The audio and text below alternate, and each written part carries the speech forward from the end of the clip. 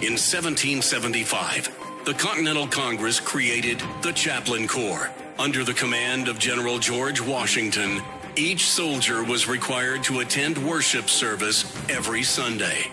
While other armies advanced on their feet, Washington's troops advanced on their knees.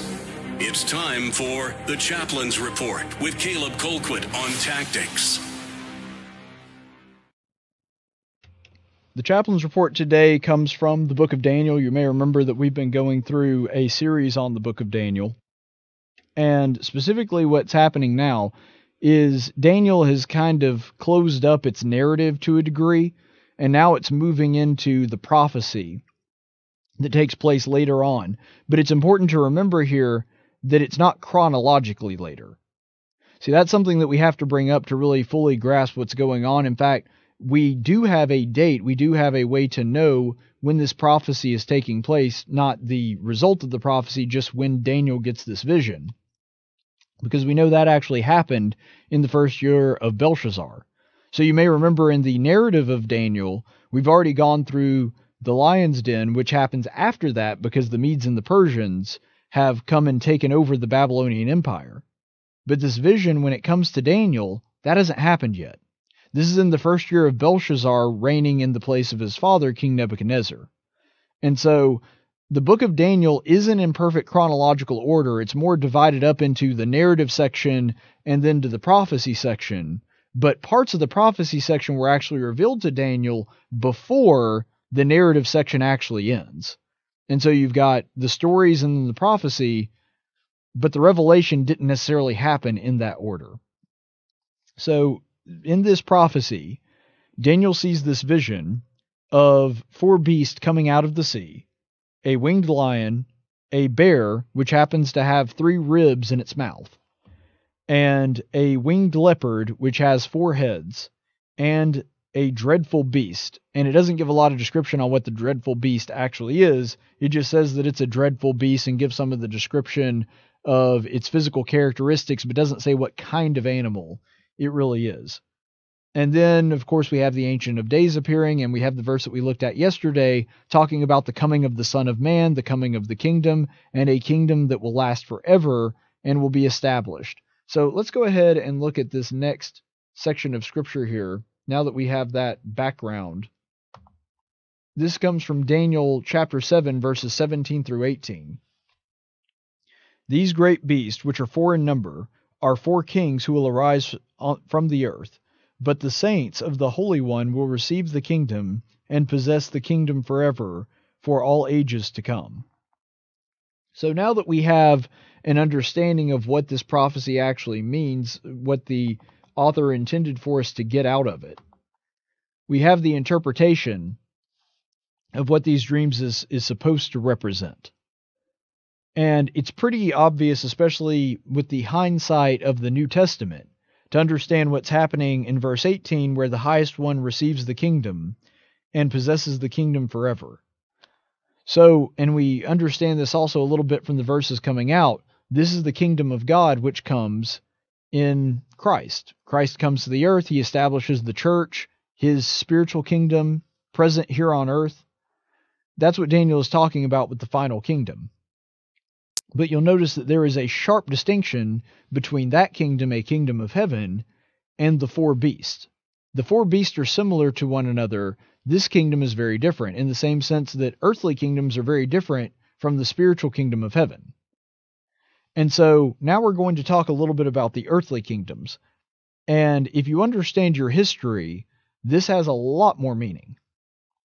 First of all, the winged lion, which is the first one to come, that's Babylon.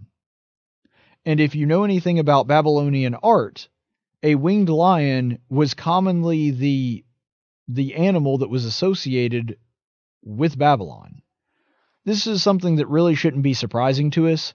Most nations have some kind of animal that they really like to depict in their art, and the animal kind of becomes synonymous with the the nation itself. For example, in Egypt, that animal was typically uh, a falcon, because their god was Ra, and that's what they worshipped. And so if you see a bird, especially a bird with the sun behind it, because Ra is a sun god, then that's typically a symbol of Egypt. You know that that is something that was usually used to depict Egypt.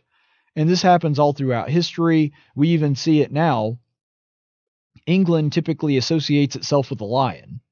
If you see a lot of the, the royals being depicted, some of the flags that you'll see throughout British culture, they depict lions. America has the eagle. Whenever you see a bald eagle, you think about America. You associate that animal with it. That's what happened with winged lions. Winged lions were kind of seen as the symbol of Babylon, and so it's not surprising that God would use the winged lion when trying to convey a truth to David, or sorry, to, to convey a truth to Daniel, to use a winged lion to describe that. And it also makes sense that it's the first one, because remember Daniel's frame of reference. Daniel is living in Babylon before it's overthrown by the Medes and the Persians.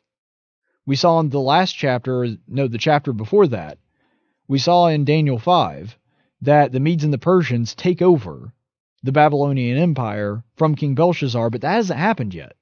In this part of the narrative, in this part of the story, this vision actually comes to him many years before that takes place. And so here we have the winged lion Babylon being the first creature that Daniel sees come out of the sea, because that's where he is right now. So that's actually the present. Then you have the next animal, the bear with the ribs in its teeth. That is representative of Persia. Now, Persia isn't symbolic of the bear in any way like we see the winged lion in Babylon. But one thing that is interesting to note is that it has three ribs in its mouth. And if you understand how the Persians took over Babylon, this becomes very significant. Because what essentially happened with Persia is that it kind of proxied the entire Babylonian Empire. It did take over, and there were some battles and skirmishes here and there, but it kind of just destroyed the central, uh, the central pillar of the Babylonian Empire, and then propped everything back up in its own place. It conquered the entire empire, which is usually not the way things happen. Usually, what you'll see is when a empire or another world power takes over, it slowly takes over other providences and there was some part of that taking place within the struggle between the Persians and the Babylonians, but by and large, what happened is Persia came in, took over the central capital of Babylon, and then the entire Babylonian capital, in a very short amount of time, became under Persian rule, and then the rest of the empire was also ruled by the Persians. And so you'll notice that the Babylonian Empire and the Persian Empire look almost exactly the same because they basically co opted the Babylonian Empire. So these ribs in its mouth, the remains of Babylon, have been taken up in the jaws of the Persian Empire. So that's really where that symbolism comes in. And then you have the winged leopard with four heads. After the fall of Babylon, and then after the fall of the Persians, who came in next? The Greeks.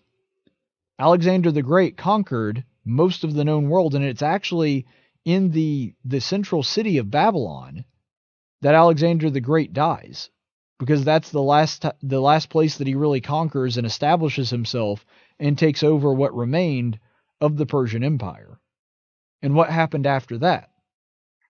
Well, Alexander the Great's um, empire was mostly divvied up by his generals. Remember, Alexander the Great died at a very young age, and seemingly pretty unexpectedly. And so the fact that he actually happens to be in the seat of power there in Babylon when he passes away and his generals have to take over the the entire thing, remember that a head directs the body. And so you here you have the Grecian Empire that is led not by one person, not by one head, but several generals that were there with Alexander the Great. So this winged leopard with four heads is symbolic of Greece because it's an animal that keeps trying to go in different directions, even though it's a great empire, because it has different heads trying to direct the direction of the leopard. And then finally, there's the dreadful beast. And the Bible specifically describes this as a beast unlike the others, because this is an empire unlike the others. And we've seen in the verse that we just read in Daniel 7:17 that these beasts represent different kings and different kingdoms. Well, Rome is the final empire, and the Bible specifically describes it as one that will take up the entire earth. Rome had conquered pretty much the entire known world at the time. I mean, its empire went from, of course, Italy, where it all started, and went as far up as the British Isles, went very far into the east. There were regions of the east that were actually worshiping Caesar as a god. And so the empire was incredibly expansive. And we'll get into the symbolism later about some of the horns, but this is the reason that a lot of the skeptics of the Bible try to drum up this story that the book of Daniel was written much later than it was, or at the very least, the latter part of Daniel's story was written way after the time of Christ. You see, the reason that they propose this is because everything fits so well. Everything fits so perfectly that there are only two possible explanations. Either this was written after the fact, it was written after all these events took place because there's no way an account this perfect could have taken place beforehand, or the person that was writing this knew the future. The person that was writing this knew the future because Daniel understood based on the vision that God had given him, because God knew the future, he conveyed that truth to Daniel. This is how we know that Daniel is a prophet, and this is the way that God instructs other people to know who the prophet is, if their prophecies pan out. Those scholars that try to skeptically say, no, no, that was written afterward, they can't explain away how everything fits perfectly. And so the only thing that they can come up with is they use circular logic. They say, well, it couldn't have possibly be written before all these events took place because nobody can tell the future. You see, they eliminate the possibility of a miracle by saying, but miracles don't exist. It would be like you bringing in a elephant and me saying that's not an elephant and you say, "Well, how do you know it's not an elephant?" I say because elephants don't exist. You see, if I already don't believe in elements uh, in in elephants, even showing me something if I refuse to believe it and close my mind, even showing me evidence to the contrary will not allow me to say, yep, you're right, there are such things as elephants. Because if I've already determined, nope, elephants don't exist, doesn't matter what you do to me, doesn't matter what you show me, doesn't matter what evidence I see, I'm going to assume that elephants don't exist. Well, then, of course, when you show me one, I'm going to say, nope, not a real elephant. Because to me, I've already made the determination in my heart that no matter what you show me, I'm not going to accept it. This is the reason that you see skeptics of the book of Daniel. They've already assumed that Daniel could not have possibly known this ahead of time, but all the details are way too perfect for them to say, nope, it's, it's mere coincidence. So they do the only thing that they have left, which is to say that no, somebody else must have written that and claimed to be Daniel way, way later. But all of the history, all of the history we have backing the book of Daniel shows it was written when it was claimed to be, that it would have had to have been written before about 523 BC. That's the only explanation here. And the reason that they choose to be skeptical of this, the reason that they choose to say, no, it had to have been written at a different time, is because they can't accept that God is Israel. They can't accept that God already knew what was going to happen. He already knew what was going to play out on the world stage when it came to humanity, and he gave Daniel a look, a preview at what was going to happen. So they try to retroactively claim this, but we have manuscripts that backs this up. The part of Daniel that we're talking about that takes place in the latter chapters, that is included in manuscripts that predate this, that, that it would have gone along with it. We don't have the manuscripts from that far back because they wouldn't have been preserved. But there is no reason to believe that all of these things were added much later. There's no reason to believe that other than you try to assume that God is not real and Daniel couldn't have possibly known these things. Therefore, you arrive at the conclusion that you already decided to arrive at before you even started the journey. It really is a very, very powerful evidence that God is absolutely who he says that he is and that his prophets were able to tell the future because of visions that he sent them. It is a powerful case for your faith. Stay the course, friends.